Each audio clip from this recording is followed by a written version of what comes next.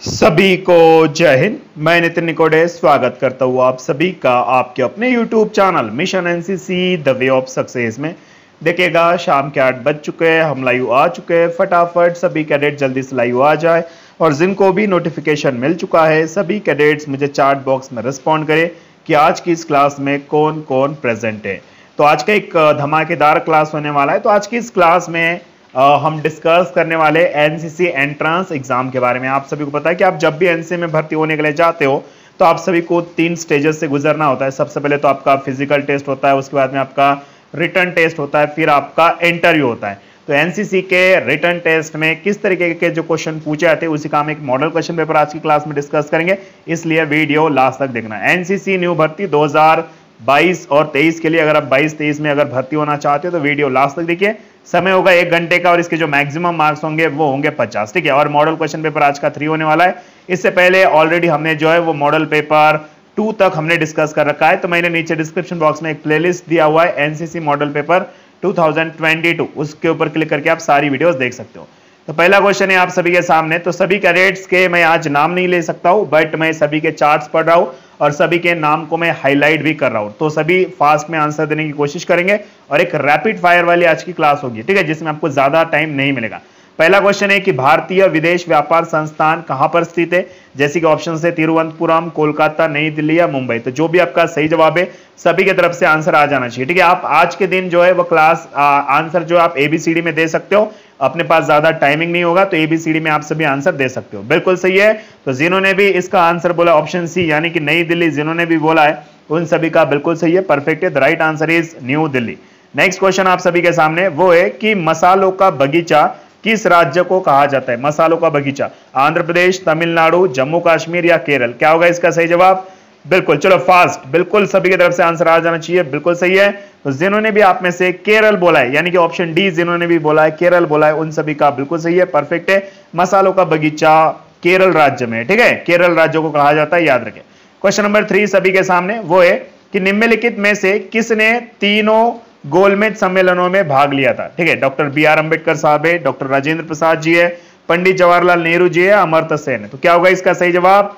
बिल्कुल। ठीक है तो जिन्होंने भी, आप में से जितने भी कैडेट्स ने ऑप्शन ए बोला है, यानी कि डॉक्टर बी आर अंबेडकर साहब बोला है, उन सभी का बिल्कुल सही है। Option A is the right answer, doctor B R Ambedkar साहब। ओके, गुड, शाबाश। नेक्स्ट क्वेश्चन एवरीवन सभी के सामने वो है कि जलियावाला बाग हत्याकांड के समय भारत के वॉइस राय कौन थे? जैसे कि ऑप्शन से lord Mountbatten lord Chelmsford lord Canning या लॉर्ड डलोजी क्या होगा इसका सही जवाब? बिल्कुल, ठीक है। तो जिन्होंने भी ऑप्शन बी बोला, यानी कि लॉर्ड चेम्सफोर्ड बोला है, उन सभी का बिल्कुल सही है। Option B is the right answer okay तो आज के क्लास में आप एबीसीडी में आंसर दे सकते हो, कोई दिक्कत नहीं है। बस सबसे पहले आंसर देने की कोशिश करो, सबसे फास्ट आंसर देना है। क्वेश्चन नंबर फाइव सभी के सामने। कि भारत का मैनचेस्टर किस शहर को कहा जाता है? तो ऑप्शन से आपके सामने कोलकाता है, चेन्नई है, मुंबई है, अहमदाबाद। मैनचेस्टर का मतलब होता है जहाँ पर सबसे ज़्यादा कपड़े का उत्पादन होता है।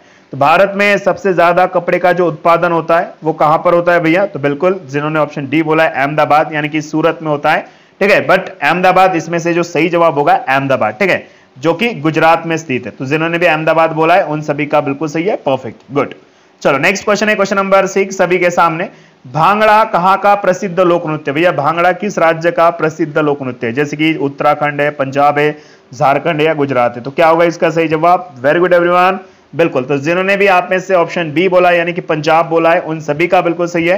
परफेक्ट है the right answer is Punjab. Good excellent चलो नेक्स्ट क्वेश्चन नंबर सेवन सभी के सामने। क्वेश्चन नंबर सेवन है कि लोक चित्रकला की मधुबनी शैली, ठीक है? लोक चित्रकला की जो मधुबनी शैली है, वो भारत के किस राज्य में या प्रचलित है? ठीक है? कौन से राज्य में फ़ेमस मानी जाती है मधुबनी शैली? जैसे कि उत्तर प्रदेश है, महाराष्ट्र है, मिजोरम है या बिहार है। क्या होगा एवरीवन इसका जवाब? बिल्कुल। तो जिन्होंने भी आप में से ऑप्शन डी बोला है, यानी कि बिहार बोला है, उन सभी का बिल्कुल सही है। बिहार में एक मधुबनी जिला है तो उसमें जो है वो सबसे ज़्यादा यानी कि बिहार राज्य में मधुबनी शैली जो है वो प्रचलित है इस बात को याद रखें। ओके और सभी के चार्ट्स में पढ़ रहा हूँ कि कौन कौन क्या आंसर दे रहा है। क्वेश्चन नंबर एट एवरीवन किस वर्ष स्वामी विवेकानंद जी ने विश्व धर्म सम्मेलन में भाग लिया था? ठीक है? तो आपके सामने ऑप्शन से 1893, 1892, 19, 1899 या 1901 ठीक है? तो बिल्कुल इसका सही जवाब क्या होगा? 1893 तो जिन्होंने भी 1893 बोला है उन सभी का बिल्कुल सही है। परफेक्ट गुड शाबाश एवरीवन वेरी गुड और सभी बच्चे वीडियो को लाइक भी किया करे ठीक है? और मैं सभी के चार्ट्स पढ़ रहा हूँ और रिस्पॉन्ड भी दे रहा हूँ आप सभी को। भैया न्यू, न्यूट्रॉन की खोज किसने की थी? क्वेश्चन नंबर नाइन न्यूट्रॉन की खोज James Chadwick J J Thomson Rutherford या गोल्डस्टीन बिल्कुल। तो आप में से जिन्होंने भी इसका आंसर दिया ऑप्शन ए यानी कि जेम्स चेडविक उन सभी का बिल्कुल सही है। Option A is the right answer James Chadwick होगा इसका सही जवाब। Next question number ten everyone सभी के सामने कि अल्फ्रेड नोबेल ने किसका आविष्कार किया था? अल्फ्रेड नोबेल साहब ने किसका आविष्कार किया था? टेलीविज़न है, डायनामाइट है, साइकिल है या वायुयान है? तो बिल्कुल, आप में से जिन्होंने भी इसका आंसर बोला है, डायनामाइट, उन सभी का बिल्कुल सही है। Option B is the right answer. Alfred Nobel साहब ने डायनामाइट का आविष्कार किया था। डायनामाइट यानी कि एक विस्फोटक पदार्थ है, याद रखेंगे। क्वेश्चन नंबर 11 सभी के सामने कि कंप्यूटर के जनक किसे कहा जाता है? Father of computer Amartya Sen है बिल गेट्स है चार्ल्स बैबेज है या सत्य नडेला? बिल्कुल। तो इसका सही जवाब क्या होगा? तो जिन्होंने भी ऑप्शन सी बोला, यानी कि चार्ल्स बैबेज उन सभी का बिल्कुल सही है परफेक्ट है। The right answer is Charles Babbage okay good next everyone question number twelve सभी के सामने कि ज्ञानपीठ पुरस्कार किस क्षेत्र में प्रदान किया जाता है? ज्ञानपीठ पुरस्कार कौन से क्षेत्र में दिया जाता है? खेलकूद है, भौतिकी है, अर्थशास्त्र या साहित्य बिल्कुल तो आप में से जिन्होंने भी इसका आंसर बोला है, साहित्य, ठीक है? उन सभी का बिल्कुल सही है। Right answer is option D Jnanpith पुरस्कार साहित्य क्षेत्र में दिया जाता है। क्वेश्चन नंबर तेरह एवरीवन सभी के सामने कि गांधी जी दक्षिण अफ्रीका में कितने वर्ष तक रहे थे? तो गांधी जी दक्षिण अफ्रीका में कितने वर्ष तक रहे थे? 21, 25, 26 या 28 क्या होगा? सही जवाब। बिल्कुल। तो आप में से जिन्होंने भी 21 वर्ष बोला है उन सभी का बिल्कुल सही है परफेक्ट है। द राइट आंसर इज़ 21 वर्ष। ओके गुड शाबाश। क्वेश्चन नंबर 14 सभी के सामने कि रामचरित मानस के रामचरित मानस के लेखक तुलसीदास किसके समकालीन थे? भैया रामचरित मानस नाम का जो पुस्तक है किसने लिखा था भैया? तुलसीदास जी ने लिखा था। तो तुलसीदास जी किसके समकालीन थे? अकबर, बिरबल, हुमायूं, औरंगज़ेब। क्या होगा आंसर? बिल्कुल। तो आप में से जिन्होंने भी ऑप्शन ए बोला है यानी कि अकबर बोला है, उन सभी का बिल्कुल सही है। Option A is the right answer, Akbar होगा इसका सही जवाब। क्वेश्चन नंबर पंद्रह सभी के सामने एवरीवन वो है कि स्कर्वी स्कर्वी रोग कौन से विटामिन के कमी से होता है? Vitamin B, vitamin A, vitamin D या विटामिन सी? बिल्कुल। तो स्कर्वी रोग जो है वह विटामिन, कौन से कमी से होता है? Vitamin C is the right answer जिन्होंने भी ऑप्शन डी बोला, यानी कि विटामिन सी ठीक है? विटामिन सी की कमी से जो है वो स्कर्वी रोग होता है, ठीक है? बिल्कुल सही है। सभी के चार्ट्स में पढ़ रहा हूँ, साथ में मैं आप सभी को रिप्लाई भी दे रहा हूँ, ठीक है? आज की रैपिड फायर वाली क्लास है तो सभी को तुरंत आंसर करना है, ठीक है? ज़्यादा समय नहीं लगाना है। भारत का राष्ट्रीय आदर्श वाक्य क्या है? जैसे कि एकता और अनुशासन सत्यमेव जयते, वीरता और विवेक या अनेकता में एकता। तो भारत का राष्ट्रीय आदर्श वाक्य क्या होगा? बिल्कुल। Option B is the right answer जिन्होंने भी सत्यमेव जयते बोला है, उन सभी का बिल्कुल सही है। परफेक्ट है। द राइट आंसर इज़ सत्य में वो जयते ओके गुड चलो। नेक्स्ट अगला क्वेश्चन है। क्वेश्चन नंबर सत्रह एवरीवन सभी के सामने। कि भाकड़ा नागल परियोजना किस नदी पर बनाई गई है? जैसे कि गंगा है, सतलज है, यमुना है या ब्रह्मपुत्र। तो भाकड़ा नांगल परियोजना जो है, भैया, वो कौन से नदी के किनारे पर बनी गई है? कौन से नदी पर बनाई गई है? तो सतलज। ठीक है? Option B is the right answer जिन्होंने सतलज बोला है उन सभी का बिल्कुल सही है। सतलज होगा इसका सही जवाब। क्वेश्चन नंबर एट अठारह ठीक है? वो है कि भैया पनामा नहर का निर्माण किस वर्ष हुआ था? पनामा नहर का निर्माण। 1920, 1930, 1914 या 1950 द राइट आंसर इज़ बिल्कुल। Option C is the right answer 1914 जिन्होंने भी बोला है उन सभी का बिल्कुल सही है। बिल्कुल ऑप्शन सी होगा इसका सही जवाब। चलो नेक्स्ट क्वेश्चन नंबर 19 सभी के सामने। मध्य प्रदेश में कहाँ पर करेंसी प्रिंटिंग प्रेस है? भैया, मध्य प्रदेश में कहाँ पर करेंसी प्रिंटिंग प्रेस है? जैसे कि देवास है अशोकनगर है, उज्जैन या भोपाल है। ठीक है, क्या होगा इसका सही जवाब? चलो ट्राई करो भाई सभी। बिल्कुल तो जिन्होंने भी आप में से बोला है देवास, उन सभी का बिल्कुल सही है। देवास नाम का एक प्लेस है, ठीक है?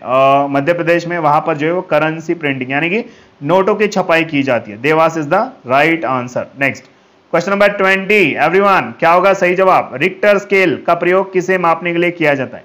रिक्टर स्केल का प्रयोग किसे मापने के लिए किया जाता है? ध्वनि की तीव्रता, भूकंप की तीव्रता इलेक्ट्रिक की तीव्रता या उपरोक्त में से सभी?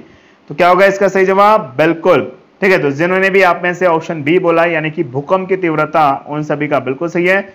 तो रिक्टर स्केल का यूज़ जो है वो भूकंप की तीव्रता नापने के लिए किया जाता है। क्वेश्चन नंबर 21 सभी के सामने। वो है कि भैया, सिंधु सभ्यता का पतन नगर बंदरगाह कौन सा था? सिंधु सभ्यता का पतन नगर बंदरगाह कौन सा था? जैसे कि रोपड़ है, लोथल है, कालीबंगन है या मोहन जोदड़ो है। तो क्या होगा इसका सही जवाब? ठीक है, इंडस वैली सिविलाइजेशन, सिंधु घाटी की सभ्यता का प्रमुख बंदरगाह कौन सा था? रोपड़, लोथल, कालीबंगा या मोहन जोदाड़ो? बिल्कुल तो आप में से जिन्होंने भी बोला है the perfect answer is Lothal. ठीक है, लोथल, बिल्कुल, आप में से ऑलमोस्ट सभी कैडेट्स ने आंसर दे दिया है। लोथल होगा इसका सही जवाब। चलो क्वेश्चन नंबर 22 एवरीवन भारतीय संगीत का आदि ग्रंथ किसे कहा जाता है? ऋग्वेद, अथर्ववेद, सामवेद या यजुर्वेद? क्या होगा एवरीवन आंसर करेंगे, जल्दी से बता दो। क्वेश्चन नंबर 22 का बिल्कुल सही है। तो आप में से जिन्होंने भी ऑप्शन सी यानी कि सामवेद बोला है, उन सभी का बिल्कुल सही है। परफेक्ट है। सामवेद होगा इसका सही जवाब। नेक्स्ट क्वेश्चन नंबर तेईस, भारत की सबसे लंबी नदी कौन सी है? गंगा, यमुना, गोदावरी या सतलज? भारत की सबसे लंबी नदी, गंगा, यमुना, गोदावरी या सतलज। बिल्कुल। तो इसका क्वेश्चन नंबर 23 का आंसर क्या होगा भैया? Ganga. Option A is the right answer जिन्होंने भी गंगा बोला है, उन सभी का बिल्कुल सही है। भारत की सबसे लंबी नदी कौन सी है? तो वो है गंगा। चलो क्वेश्चन नंबर 24 एवरीवन सभी के सामने। बल का एसआई मात्रक क्या है? ठीक है, बल का एसआई मात्रक आप सभी को बताएँ। जैसे कि न्यूटन है, पास्कल है, जूल है, या वैट है। क्या होगा एवरीवन इसका आंसर बिल्कुल क्वेश्चन नंबर 24 का आंसर होगा आपका न्यूटन। ठीक है, जिन्होंने भी ऑप्शन ए बोला है उन सभी का बिल्कुल सही है परफेक्ट है Newton is the right answer okay question number 25 सभी के सामने, भैया, उस्ताद जाकिर हुसैन जी, किस वाद्य यंत्र में बजाने में विशिष्टता प्राप्त है? डॉक्टर जो जाकिर हुसैन साहब है, वो कौन से वाद्य वाद्य यंत्र बजाने में माहिर है या कौन से वाद्य यंत्र से संबंधित है? बांसुरी है, सितार है, तबला है या शहनाई है? तो एवरीवन सभी आंसर को तो जल्दी से, चलो। अब पानी पीना पड़ेगा भैया थोड़ा सा।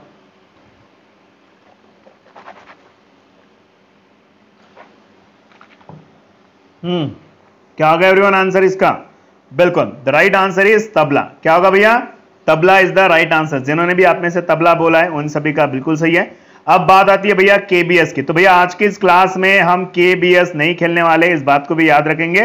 क्योंकि आप सभी को पता है कि मैं अभी फ़िलहाल ट्रेन में हूँ और मैं यहाँ पर केबीएस नहीं कर सकता हूँ, ठीक है? तो इसलिए डेफिनेटली याद रखेंगे, आज केबीएस नहीं होगा, दो चार दिन। उसके बाद हम केबीएस और खेलेंगे, ठीक है? क्वेश्चन नंबर 26 वो है कि भारत की सबसे लंबी अंतरराष्ट्रीय सीमा किस देश के साथ लगी है? श्रीलंका है, बांग्लादेश है, नेपाल है या भूटान है? तो क्या होगा एवरीवन आप सबकी तरफ़ से आंसर बिल्कुल जिन्होंने भी बोला है, बांग्लादेश, उन सभी का बिल्कुल सही है। बांग्लादेश को जो है हमारे भारत की सबसे लंबी अंतरराष्ट्रीय सीमा रेखा जो है वह बांग्लादेश से लगी हुई है। ओके गुड शाबाश। चलो question number 27 everyone order of Australia किस देश का राष्ट्रीय पुरस्कार है? जैसे कि ऑस्ट्रेलिया, भारत, ब्रिटेन या रशिया। जैसे अपने भारत में भारत रत्न दिया जाता है ना तो उसी तरीके से भैया एक पुरस्कार है जिसका नाम है ऑर्डर ऑफ़ ऑस्ट्रेलिया तो ये कौन से देश में दिया जाता है? तो भैया ये दिया जाता है ऑस्ट्रेलिया में, ठीक है? ऑस्ट्रेलिया में कौन सा पुरस्कार दिया जाता है? ऑर्डर ऑफ़ ऑस्ट्रेलिया ये ऑस्ट्रेलिया का राष्ट्रीय पुरस्कार है, ठीक है? अपना भारत का भारत रत्न है उस तरीके से। Question number twenty eight Los Angeles time ये किस देश का समाचार पत्र है? Los Angeles Times America, Bharat, चीन या पाकिस्तान। क्या होगा एवरीवन जैसे अपना भारत का इंडियन एक्सप्रेस है, ठीक है? इंडिया न्यूज़ है, या दैनिक जागरण है, ठीक है? दैनिक भास्कर है। इस तरीके से जो अपने इंडिया के जो न्यूज़पेपर है ना, उसी तरीके से लॉस एंजल्स टाइम यह एक फ़ेमस समाचार पत्र है। तो ये कौन से देश का है? बिल्कुल। तो आप में से जिन्होंने भी अमेरिका बोला यानी कि ऑप्शन ए यूएसए बोला है, उन सभी का बिल्कुल सही है। America is the right answer good question number 29 everyone भारतीय सेना की जो पूर्वी कमांड है, उसका हेडक्वार्टर कहाँ पर है? उधामपुर है, कोलकाता चंदी मंदिर या पुणे? तो आप सभी की तरफ़ से क्या आंसर मिलेगा? बिल्कुल सही है। तो जिन्होंने भी पुणे बोला है, उनका बिल्कुल सही है। Pune is the right answer okay good शाबाश. चलो लास्ट क्वेश्चन आज के क्लास का। वो है कि भारत के पहले रक्षा मंत्री डिफेंस मिनिस्टर कौन थे पहले? श्री राजनाथ कोविंद, श्री रामनाथ कोविंद, श्री अमित शाह, श्री नरेंद्र मोदी या श्री बलदेव सिंह? बिल्कुल. तो जिन्होंने भी ऑप्शन डी बोला है, यानी कि श्री बलदेव सिंह जी बोला है उन सभी का सही है। The perfect answer is Shri Baldev Singh ji Bharat के पहले रक्षा मंत्री ओके गुड और सभी कैडेट्स को जाहिंद एवरीवन जितने भी आप सभी देख रहे हो, आपका बहुत बहुत धन्यवाद। एंड सभी बच्चों के लिए होमवर्क जो है मैंने डिस्क्रिप्शन बॉक्स में दे दिया है और सभी बच्चों को होमवर्क करके आना है, ठीक है? अगर आपके मोबाइल में अभी तक मिशन एनसी की एप्लीकेशन नहीं है तो एप्लीकेशन को इंस्टॉल कर लो, अपनी पढ़ाई शुरू कर दीजिए। सबसे पहले आपको मेन्यू के ऊपर क्लिक करना है, उसके बाद में एनसीसी न्यू भर्ती 2022 लिखा है, एक प्लस का आइकॉन दिखा देगा, उसके ऊपर क्लिक करें, उसके बाद जो है और स्टेप नंबर थ्री में सारे के सारे जो एंट्रेंस टेस्ट है आपके सामने आ जाएँगे उन सभी टेस्ट को आपको सॉल्व करके देखना है और अपनी पढ़ाई आज से शुरू कर देना है। अगर आपके मोबाइल में अभी तक एप्लीकेशन नहीं है तो गूगल प्ले स्टोर से एप्लीकेशन इंस्टॉल करके अपनी पढ़ाई शुरू कर दीजिए, ठीक है? आई होप कि आपको आज का वीडियो अच्छा लगा होगा। अगर वीडियो लगा अच्छा लगा हो तो लाइक ज़रूर कर दीजिए। तो बिल्कुल मिलेंगे अपनी कल वाली क्लास में ओके तो सभी को गुड नाइट सभी अच्छी तरीके से खाना खाएँगे, सभी अच्छी तरीके से सो जाएँगे, सभी को गुड नाइट तो मिलते हैं अपनी नेक्स्ट वाली क्लास में. तब तक के लिए टाटा बाय बाय साइनरा अलविदा. जय हिंद, वंदे मातरम.